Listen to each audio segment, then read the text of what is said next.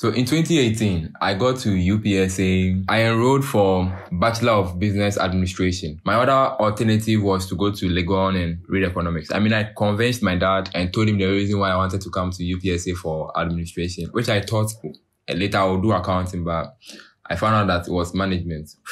Who cares? Now, when I came here, I know I'm a smart child. I'm academically gifted. God to be grateful for. But then I came here knowing that I was going to focus on my books and learn so hard, learn, learn so hard and be like the valedictorian, like that kind of concept, you know. That was me. That was me. And I kind of started well. I mean, I, I got a chance, an opportunity to sign the matricula. So um, I was like on high hopes, you know, high, high, high hopes, right? But then things changed. I got a good, some good friends around me. I mean, their mindset, the way they used to say, I started exposing myself more to books, to listening to um, certain people who I will not be normally listening to.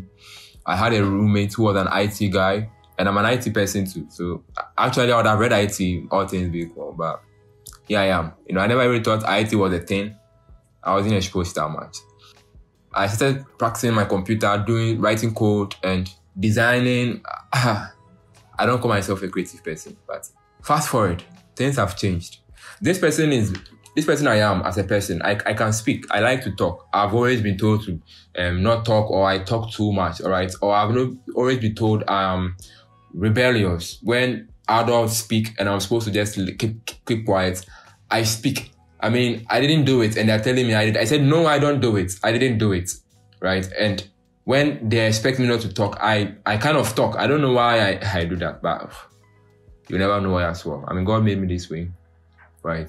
So I found my voice in the university, not because I was doing well in class, not because I was so good at presentations, not because I'm able to really say things.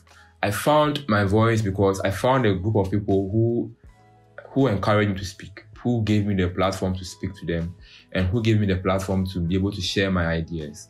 Then COVID struck.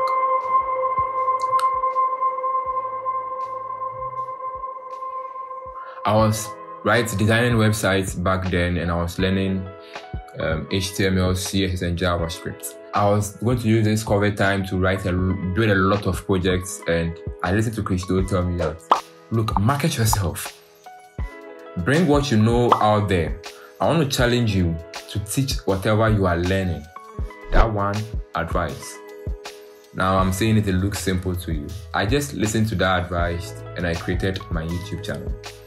I've been using this phone, this is the iPhone 10 or X. I've been using it for a while now, I am past over a year now, and I know I'm due for an upgrade.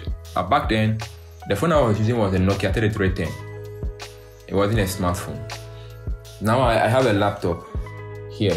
I don't know if you see it and that's what I edit my videos on. Back then, I didn't own. I owned a laptop, but it was a bulky one from. I'm, I'm sure they made it in 2005. It wasn't that good. It wasn't that good. So it couldn't. I couldn't to write code, but I couldn't to record a video or edit a video. I didn't have a microphone. I didn't have a light. Light. I didn't have any of them. But then I had just. I just had I, I, now I look back and it's funny because the undying belief and then the undying confidence with which I stood up and you know started chasing that dream of creating my YouTube channel. Mind you, I, I consume so much of YouTube, so um, I just know what good video is. But what I made was not even okay. It was bad. It was dangerous. It, it shouldn't. It's not. It's not fit to be on YouTube. You can go all go to my channel and go all the way down, and you see that it's not fit to be on YouTube. Yet still, I was there because I'm I'm I'm doing this. I'm bringing what I'm teaching to YouTube. Monetization was not even on my mind. All I wanted to do was just teach what I am doing what I know.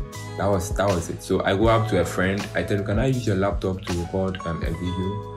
He says, "Okay." Okay. I install my apps and then I start using his laptop to edit, to shoot, and to edit my videos, my mediocre videos, and I put them out there. I didn't know anything about graphic design. I didn't know anything about video editing.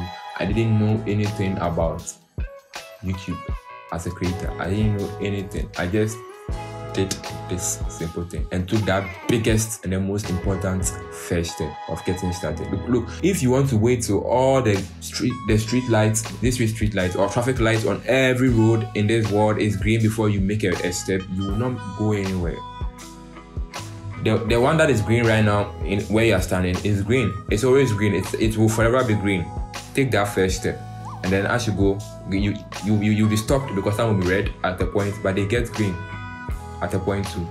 Right. So I made that very first bold step and then I kept putting out my content. I would um I, I went home from school because I written my exams and then I still I still kept putting out content and fast forward two years later I, I was quitting I was quitting. I was giving up on my endeavor. And mind the reason why I was quitting because I've been making YouTube for two years and then I've not even reached 500 subscribers.